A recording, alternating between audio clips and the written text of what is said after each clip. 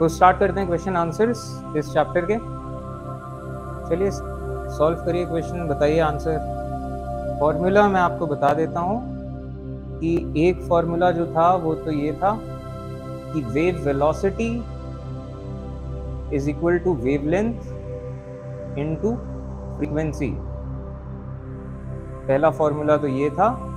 And दूसरा formula formula के sense में ही कि फ्रीक्वेंसी होता है वन अपॉन टाइम पीरियड तो ये दो फॉर्मूले हैं और सारे के सारे क्वेश्चंस इन्हीं दोनों पे बेस्ड होंगे. मोर और लेस इन्हीं का आगे पीछे हमें यूज़ करना होगा. करिए सॉल्व आंसर बताइए. जो लोग ऑनलाइन है, आप लोग भी आंसर बताइए. तो यहाँ पे हमें टाइम पीरियड दिया है. टाइम पीरियड यानी कि एक वेव कंप्लीट होने में कितना टाइम लेती है और हमसे पूछा जा रहा है फ्रीक्वेंसी तो इसमें ये सेकेंड रिलेशन लगेगा। तो बताइए आंसर इसमें तो बहुत ही स्ट्रेट फॉरवर्ड है। फ्रीक्वेंसी क्या होता है? वन अपॉन टाइम पीरियड जिसमें टाइम पीरियड सेकेंड्स में होगा। क्योंकि फ्रीक्वेंसी का मतलब ही होता है कि एक सेकेंड में कितनी वेव्स गई। तो यहाँ पे टाइम पीरियड हमें दिया हुआ है, जो कि है zero point zero five seconds तो यही इसकी फ्रीक्वेंसी है। लेकिन अभी ये प्रॉपर अधपके फॉर्म में है। फ्रीक्वेंसी प्रॉपर इतने हर्ट्स जब हम कहेंगे तो वो प्रॉपर फॉर्म है। तो इसको कन्वर्ट करिए हर्ट्स में। और हर्ट्स में कन्वर्ट क्या? मतलब इसको प्रॉपर हम सॉल्व करेंगे तो नीचे का डेसिमल हटाएँगे।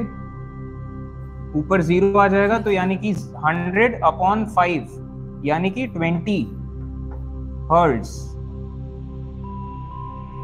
इतना सिंपल तो था, इसमें टाइम क्यों लग गया इतना?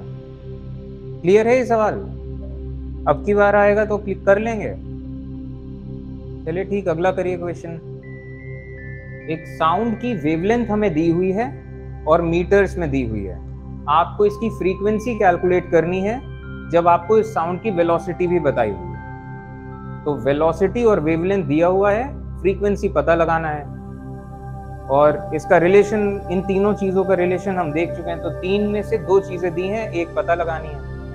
और साउंड के क्वेश्चंस में मोर और लेस यही होगा कि तीन चीज़ों में कोई दो चीज़ें दी होंगी एक पूछी गई होगी। जानवी आया कुछ आंसर अच्छा वैल्यू बताइए फ्रीक्वेंसी क्या होता है? मतलब इन दोनों के रिलेशंस में? फ्रीक्वेंसी को हम क्या लिखेंगे?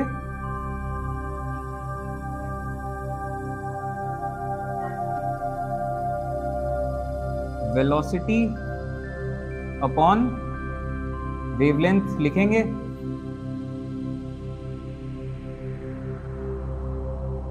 Velocity is equal to frequency into wavelength वही वाली बात है। तो फ्रीक्वेंसी हो जाएगा वेलोसिटी अपॉन वेवलेंथ अब वेलोसिटी यहाँ पे क्या है? 343 मीटर्स पर सेकेंड और ये सही यूनिट्स में है। और वेवलेंथ है 1.7 into ten to the power minus two metres ये भी सही यूनिट में है। तो बस इसको सॉल्व करना है। बताइए आंसर ये ten to the power minus two नीचे वाला ये ऊपर चला जाएगा। अच्छा देखिए। यहाँ तक क्लियर है। अब इसके बाद नीचे डेसिमल है 1.7 तो बेटर है कि हम इसका डेसिमल हटा दें। तो इसका डेसिमल हटाएँगे तो यहाँ पे भी हमें एक ज़ीरो लगाना पड़ेगा। अब 17 टू ज़ा थर्टी फोर ज़ीरो ज़ा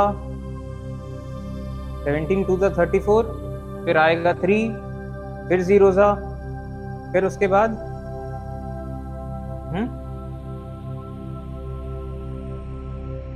फिर वन टाइम्स और समथिंग कुछ ऐसा पॉइंट में फिर उसके बाद आएगा।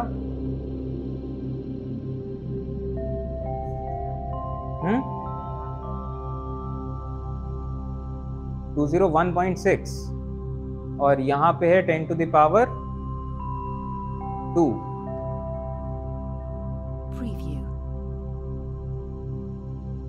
तो इसको हम क्या लिख सकते हैं? टू पॉइंट समथिंग के सेंस में हम लिखेंगे तो इसको हम लिखेंगे डेसिमल को इधर ले आइए। ये वाले डेसिमल को एक पॉइंट दो पॉइंट तो यानी कि two point zero one into ten to the power four hertz तो आंसर ये भी ठीक है, लेकिन जो चीज़ हमने क्लास एट में जैसे पढ़ी थी कि कोई भी चीज़ इस तरह पावर्स में है तो आप उसे स्टैंडर्ड फॉर्म में लिखेंगे। तो ये रहा स्टैंडर्ड फॉर्म ठीक है क्लियर है ये चीज़? इसमें एक डिजिट के बाद डेसिमल आएगा और फिर जितना भी units ten to the power में। चलिए, अगला क्वेश्चन करिए। साउंड ट्रेवल करता है at the speed of 330 metres पर सेकेंड आपको वेवलेंथ बतानी है जब फ्रीक्वेंसी दे रखी है 550 हर्ट्ज वही क्वेश्चन है, बस पिछली बार वेवलेंथ और वेलोसिटी दिया था, फ्रीक्वेंसी पूछा था। अब की बार वेवलेंथ पूछ लिया है, वेलोसिटी और फ्रीक्वेंसी देके हम्म सही है। तो इसका आंसर है 0.6 वही चीज़, velocity is equal to wavelength into frequency तो वेवलेंथ हो जाएगा वेलोसिटी अपॉन फ्रीक्वेंसी वेलोसिटी है 330 मीटर्स पर सेकेंड और फ्रीक्वेंसी है 550 हर्ट्ज तो इसको आप सॉल्व करेंगे तो आएगा 0.6 मीटर्स चलिए अगला करिए।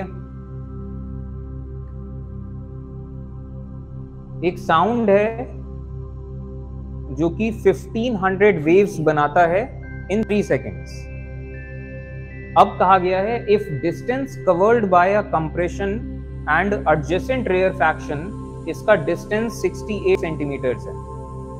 तो आपको फाइंड करना है frequency wavelength and velocity of sound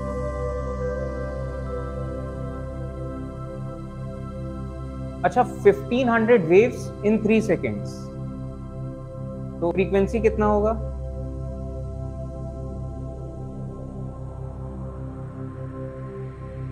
जान लिए क्या नीचे क्या देख रहे हो आप? पिछला सवाल कर रहे हो क्या? पिछला समझ में आया था? नहीं समझा पूछ लेना, दोबारा बताऊँगा। और इनफैक्ट ये भी वैसा ही टाइप का सवाल है, क्योंकि वही चीज़ें तीन में से दो चीज़ें दी हैं, एक नहीं, पूछी है।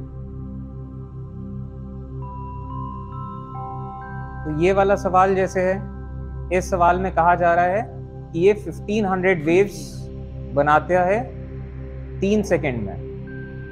1500 वेव्स गुजरती हैं तीन सेकंड में। और फ्रीक्वेंसी के बारे में हम जानते हैं फ्रीक्वेंसी उस चीज़ को कहते हैं कि एक सेकंड में कितनी वेव्स गुजरती हैं। तो एक सेकंड में ज़ाहिर सी बात है कि 500 वेव्स गुजर रही हैं। तो हम कह सकते हैं कि इस साउंड सोर्स की फ्रीक्वेंसी क्या है? 500 हर्ट्ज ठीक है तो हमें फ्रीक्वेंसी पता चल गया। अब ये जो पॉइंट है यहाँ से हमें वेवलेंथ पता चल जाएगा। वेवलेंथ कैसे पता चलेगा? किसी भी साउंड वेव में जो एक कंप्रेशन आता है और कंप्रेशन का जस्ट एडजेसेंट रेयर फैक्शन पहले तो वेवलेंथ निकालेंगे। वेवलेंथ का फॉर्मूले से यहाँ नहीं निकल पाएगा। यहाँ पे हमें इस क्वेश्चन में सिर्फ़ किया है और हमें कुछ भी नहीं दिया है। तो तीन चीज़ों में एक चीज़ दी है, दो चीज़ें नहीं दी हैं। दूसरी एक भी चीज़ दी होती तो आंसर निकल आता।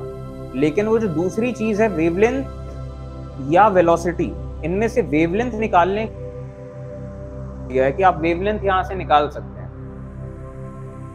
Distance bit covered by a compression and adjacent rarefaction is 68 centimetres अब जैसे ये है साउंड वेव इस चीज़ को हम कहते हैं कंप्रेशन ये जो लो प्रेशर एरिया है लो डेंसिटी एरिया ये है रेयर फैक्शन तो कंप्रेशन और रेयर फैक्शन के बीच की दूरी 68 सेंटीमीटर है. तो वेवलेंथ कितनी होगी? वेवलेंथ क्या होता है? इनके टर्म्स बताइए। वैसे टर्म्स में मत बताइए। वेलोसिटी अपॉन फ्रीक्वेंसी वेवलेंथ इसके टर्म्स में बताइए क्या होता है? क्रस्ट टू क्रस्ट या तो फिर ट्रॉ टू ट्रॉ ये तो ट्रांसवर्स हो गया। लॉन्गिट्यूडनल के सेंस में एक कंप्रेशन दूसरे कंप्रेशन के बीच में ये वेवलेंथ हो गया। यहाँ पे हमें कंप्रेशन और रेयर फैक्शन के बीच में दिया है डिस्टेंस तो वेवलेंथ कितना होगा? पता नहीं आंसर मुझे नहीं पता इसका। तो देखिए फ्रीक्वेंसी हमें पता है वेवलेंथ पता है। तो हमने पार्ट ए कर लिया पार्ट बी कर लिया। तो वेलोसिटी क्या होगा? वेलोसिटी करते हैं। वेलोसिटी होगा लैम्डा इनटू फ्रीक्वेंसी तो लैम्डा है 136 सेंटीमीटर्स में, जिसको हम मीटर्स में कन्वर्ट कर देंगे। अब ये चीज़ हो गई मीटर्स में। और फ्रीक्वेंसी क्या है? 500 हर्ट्ज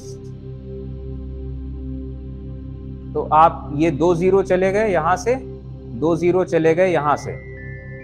तो यानी कि 136 thirty six into five five six thirty three तो five three fifteen eighteen six eighty metres पर सेकेंड करीब ठीक है, क्लियर है सवाल? तो पहली चीज़, इस सवाल में ये वाला ध्यान रखिएगा, कभी भी इस तरीके से आ जाए कि फ्रीक्वेंसी इस वाले फॉर्म में बताई जा सकती है। 500 हर्ट्ज की जगह ये बोला जा सकता है कि वो 8000 वेव्स निकल रही हैं 10 सेकंड में। तो एक सेकंड में ऑब्वियसली 800 वेव्स निकली। तो फ्रीक्वेंसी में कैसे आपको अलग लफ्जों में बोल सकते हैं? आप कंफ्यूज हो सकते हो। और दूसरी चीज़, ये distance by a compression and an adjacent rarefaction इसी चीज़ को दूसरे लफ्जों में करने के लिए और भी तरीके से आपको घुमा सकते हैं। कि जैसे कंप्रेशन एंड नेक्स्ट कंप्रेशन बोल दिया तो वहाँ पे लैम्डा की वैल्यू 68 हो जाएगी। कंप्रेशन एंड एडजस्टेंट कंप्रेशन यहाँ पे लैम्डा बाय टू की वैल्यू ये है। Compression and the next rarefaction अगर बोल दिया नेक्स्ट रेयर फैक्शन तो यानी कि कंप्रेशन रेयर फैक्शन फिर कंप्रेशन फिर रेयर फैक्शन तो ये एक लैम्डा हो गया और ये हो गया लेमडा बाय टू तो थ्री लेमडा बाई टू और इसके ऊपर तो नहीं जाएँगे, लेकिन अगर जाते भी हैं नाइन्थ के लेवल पे वैसे नहीं जाएँगे, लेकिन जाते भी हैं तो तरीका आपको पता है। तो compression and the next rarefaction वो थ्री लेमडा बाई टू चलिए अगला क्वेश्चन जो लोग ऑनलाइन हैं, आप लोग भी आंसर देते रहें. वेलोसिटी ऑफ़ साउंड बिजली कड़कती है और आपको चार सेकंड बाद उसकी आवाज़ सुनाई देती है। तो कितनी दूरी पे बिजली कड़की ये बहुत इजी क्वेश्चन है, बस लाइटनिंग का नाम बीच में डाल दिया तो शायद कुछ नया सा लगे, लेकिन ये बिल्कुल वही बाइसाइकिल एंड कार एंड बस सीधा सिंपल सवाल डिस्टेंस टाइम स्पीड वाला है।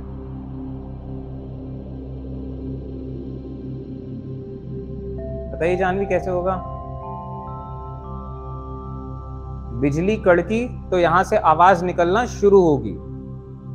और चार सेकंड लगेगा आप तक आने में तो टाइम दिया है चार सेकंड और वेलोसिटी दी है साढ़े तीन मतलब साढ़े तीन सौ नहीं तीन सौ तीस मीटर पर सेकंड यानी कि हर सेकंड वो तीन सौ तीस मीटर चलेगी।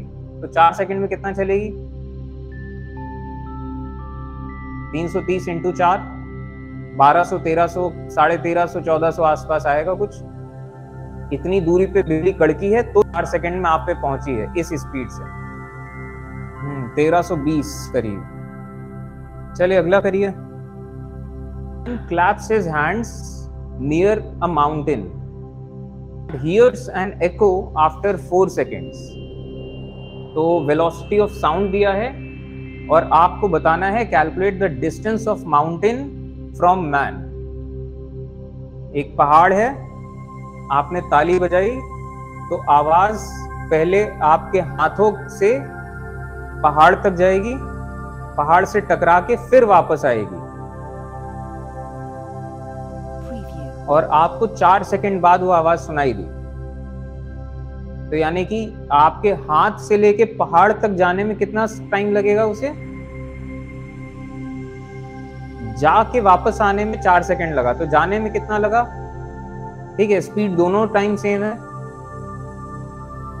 और वेलोसिटी आपको दे रखी है कि एक सेकंड में साउंड साढ़े तीन मीटर चलता है। तो दो सेकंड में कितना चलेगा? और ये जो हमने यहाँ पे लॉजिक किया और जिस तरीके से इस क्वेश्चन को सॉल्व किया, ये माउंटेन है। आपने बजाई तो यहाँ से यहाँ जाने में और फिर से वापस आने में चार सेकंड लगा टोटल तो जाने जाने में दो सेकंड लगेगा। तो ये जो लॉजिक यहाँ पे है, यही लॉजिक लगेगा जब आप सोनार और बेस ऑफ़ द सी की तो जैसे अगला क्वेश्चन करते हैं। एक सोनार डिवाइस है। ये अल्ट्रासोनिक वेव्स छोड़ते हैं सी में। The wave the waves are reflected from the bottom of the sea ऊपर जहाज़ से समंदर के बॉटम पे इन्होंने साउंड छोड़ा और यहाँ से रिफ्लेक्ट होके वापस आया और ये इस चीज़ को डिटेक्ट करते हैं। और इस टोटल जर्नी में फोर सेकेंड्स लगा। Four seconds to get reflect sound और आपको ये भी कहा गया है, दूसरी बात जो बताई गई है, वो ये बताई गई है कि velocity of sound in water ये है डेढ़ हज़ार मीटर्स पर सेकेंड तो बताइए डेप्थ ऑफ़ सी क्या होगा? 3000 मीटर्स एक जवाब आया है, सही है। चार सेकेंड लगा नीचे तक जाने में और वापस आने में। तो यानी कि सिर्फ़ नीचे जाने में दो सेकेंड लगा। और वेलोसिटी है डेढ़ हज़ार मीटर पर सेकेंड, यानी कि तीन हज़ार मीटर्स की गहराई है। अब अगला सवाल ये है न्यूमेरिकल्स बेसिकली हो गए हैं। एक एक टाइप सबके। अब एमसीक्यूज करते हैं कुछ। अल्ट्रासाउंड, ये जो अल्ट्रासोनिक साउंड्स होते हैं, ये पेनिट्रेट करते हैं, अंदर घुसते हैं। तो इसका रीजन क्या है? ये बहुत स्पीड होती है इनमें, या हाई स्पीड की वजह से अंदर ही पेनिट्रेट कर पाते हैं, या हाई फ्रीक्वेंसी की वजह से अंदर पेनिट्रेट कर पाते हैं, या इनका वेवलेंथ बहुत ज़्यादा होता है। हाई वेवलेंथ और या तो फिर हाई एम्पलीट्यूड बताइए ए बी सी या डी अल्ट्रासोनिक वेव्स इतना पेनिट्रेट क्यों कर पाते हैं? तो एक जवाब आया है ए का डी आयुषी का? और कोई जवाब? डी गलत जवाब है, और ट्राई करिए।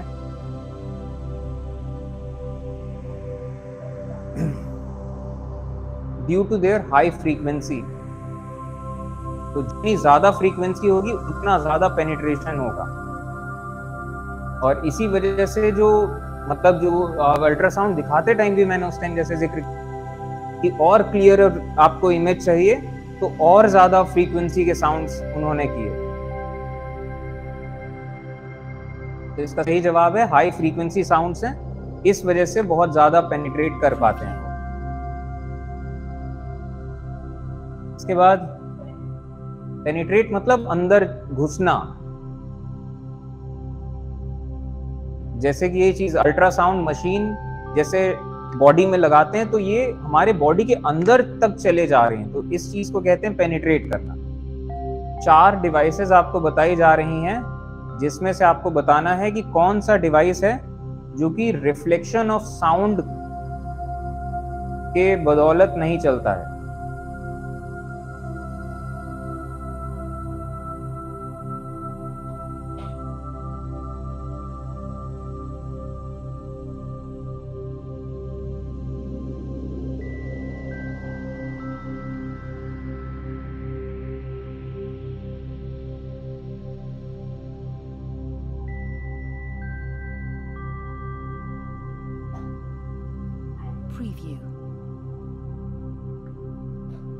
और कोई जवाब?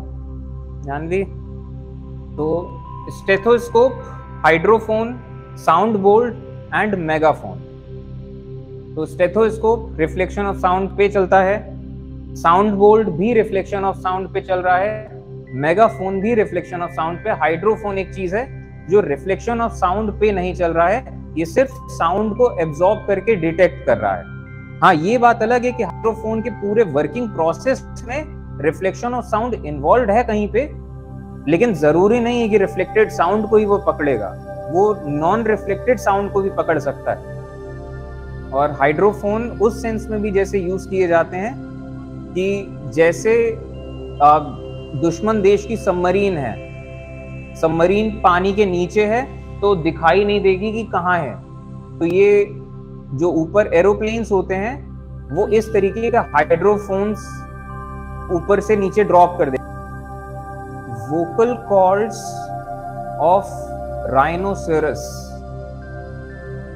जो राइनोसोरस जानवर होता है, इसके वोकल कॉल्स कौन से फ्रीक्वेंसी के साउंड्स जनरेट कर पाते होंगे? तो 5 किलो हर्ट्ज़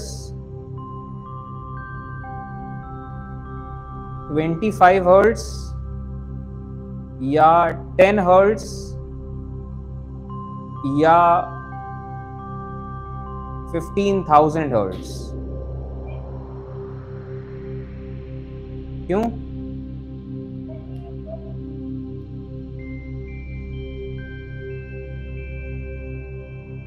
चलिए सही जवाब है। तो राइनासोरस हो गया एलिफेंट्स हो गए ये सब इंफ्रासोनिक एग्जैक्ट टर्म है इनका। तो ह्यूमंस बीस हज़ार हर्ट्स या यूँ कह लीजिए बीस किलो हर्ट से लेके बीस हर्ट्स तक ह्यूमंस की रेंज है। इसके नीचे सब इंफ्रासोनिक है। तो अगर इसमें राइनोसोरस आ जाए या एलिफेंट आ जाए तो ये सब के सब इंफ्रासोनिक है कि इनकी हमें आवाज़ एज सच नहीं सुनाई देती। मतलब चिंगाड़ते हैं तो अच्छा खासा पोर्शन इनके ऑडिबल रेंज में आ जाता है, लेकिन बहुत सारी आवाज़ें ये इंफ्रासोनिक में निकालते हैं कि हमें समझ नहीं आएगा।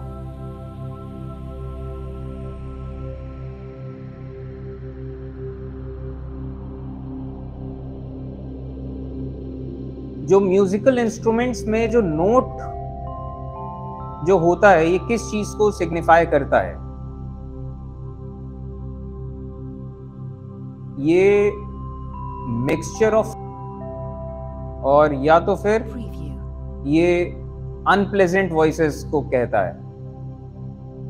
हम्म?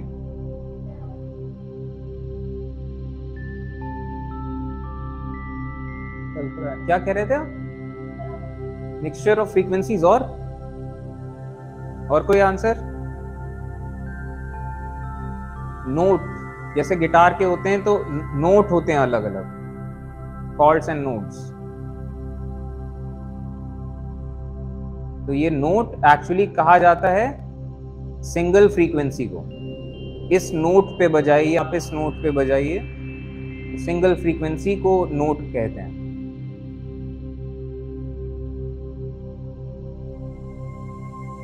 इनमें से जैसे क्वेश्चन टेन इनमें से कौन सी ऐसी चीज़ है कि जो कि प्रोड्यूस कर सकती है बोथ लॉन्गिट्यूडनल वेव्स भी प्रोड्यूस कर सकती है एंड ट्रांसवर्स वेव्स भी प्रोड्यूस कर सकती है। तो एग्जांपल्स वाटर मतलब ऑप्शंस वाटर या टीवी ट्रांसमीटर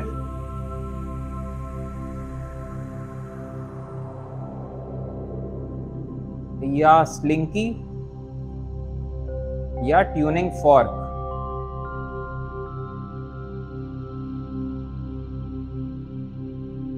बताइए टेंथ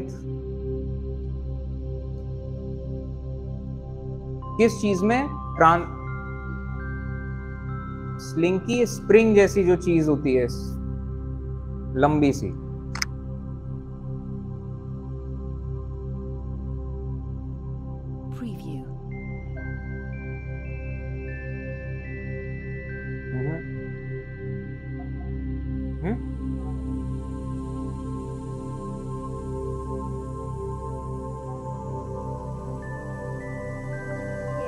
की वजह है। ये मैं दिखा भी चुका हूँ वैसे आप लोग को।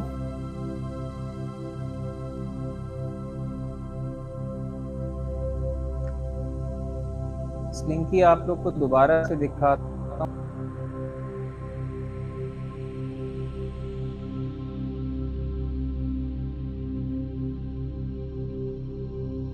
ये है स्लिंकी। तो ये इसमें लॉन्गिट्यूडनल वेव्स अभी बनते नज़र आ रही हैं, और इसी स्लिंकी को आप यूँ यूँ करने लग जाएँ तो एक रस्सी के जैसा बनने लग जाएगा। तो वो ट्रांसवर्स वेव्स हो गए। तो ये लॉन्गिट्यूडनल वेव्स जिसमें सिर्फ़ कंप्रेशन एंड रेयर फैक्शन हो रहा है, और ये ऊपर नीचे नहीं हो रहा है कुछ। और इसी स्लिंकी को आप ऊपर नीचे कर दें तो ऊपर नीचे भी हो जाएगा। हमारे पास वैसे स्लिंकी का वीडियो इसमें शायद नहीं है। ट्रांसवर्स वेव्स बनाते हुए नहीं है।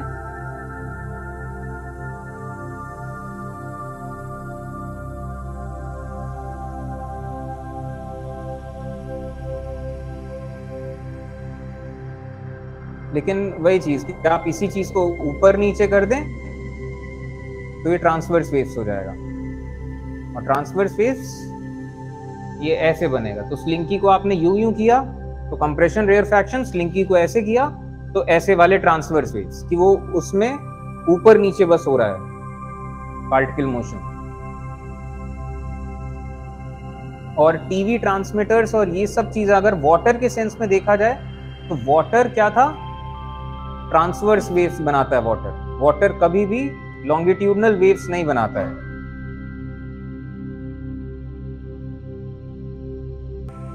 क्या आप वाटर को जैसे टच करते रहें तो जितने रिपल्स बनते हैं वाटर में, वो सब ट्रांसवर्स होते हैं. वो बस बॉल अगर आप डाल दें तो बॉल यूँ यूँ नहीं होगा. बॉल ऊपर नीचे होगा. जैसे लहर आती है तो जहाज़ ऊपर जाता है वहीं लहर चली गई, वहीं है, फिर से लहर आई, फिर ऊपर चला गया, फिर वहीं पे रह गया। तो पानी में जितने, पानी में सिर्फ़ ट्रांसवर्स बनेगा, सिर्फ़ वो ऊपर नीचे ऊपर नीचे होता रहेगा। और टीवी ट्रांसमीटर्स ये इलेक्ट्रोमैग्नेटिक वेव्स के जैसा ये होता है ट्रांसमिट करते हैं तो ये भी ट्रांसवर्स वेव्स है। इलेक्ट्रोमैग्नेटिक वेव्स जितनी है, ये सब के सब ट्रांसवर्स ये ऊपर नीचे इस टाइप से करेंगे। तो आगे पीछे ये सिर्फ़ साउंड में होता है या जैसे स्लिंकी में होता है? और फॉर्क फॉर्क भी यूँ करके था। तो अगर आप इस सेंस में देखें फॉर्क को तो ऊपर नीचे हो रहा है। वो यूँ यूँ नहीं हो रहा है उसमें पार्टिकल्स पार्टिकल्स उसमें ऊपर नीचे हो रहा है।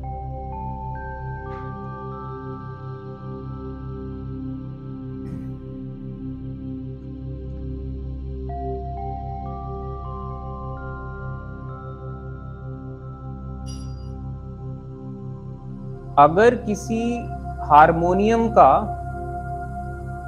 pitch of a note harmonium का लोअर कर दिया जाए तो वेवलेंथ पे क्या असर पड़ेगा? तो वेवलेंथ घट जाएगी या पहले कम होगी, फिर बढ़ जाएगी? क्या वेवलेंथ बढ़ ही जाएगी या तो फिर सेम रहेगी?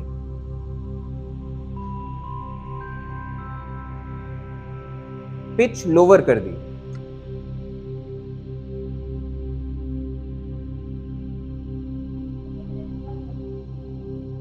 कैसे?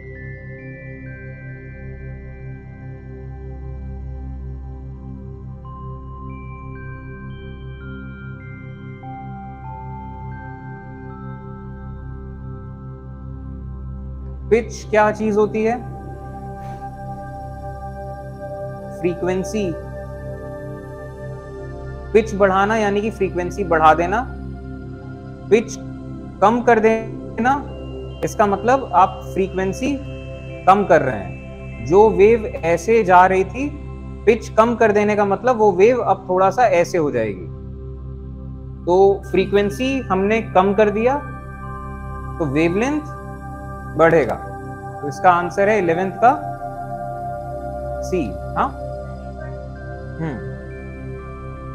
तो वही चीज़, यही सवाल अगर सिर्फ़ फ्रीक्वेंसी एंड वेवलेंथ आता तो आप पकड़ लेते।